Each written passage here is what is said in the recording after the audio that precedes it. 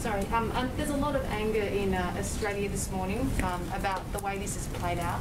Um, we've got citizens and then, of course, so many Afghans who um, have helped the Australian forces and helping the US mission over the past 20 years.